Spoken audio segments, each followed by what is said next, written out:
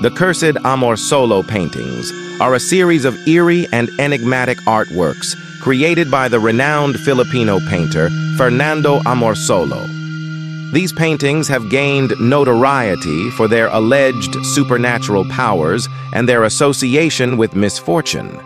It is believed that owning or displaying one of these paintings can bring about a curse upon the owner. The curse is said to manifest in various ways, ranging from financial ruin to accidents and illness. Many who have possessed these artworks have reported a series of unfortunate events that they attribute to the curse. As a result, some individuals have gone to great lengths to rid themselves of these paintings, fearing the malevolent influence they may exert. Despite the skepticism of some, the legend of the cursed Amorsolo paintings persists.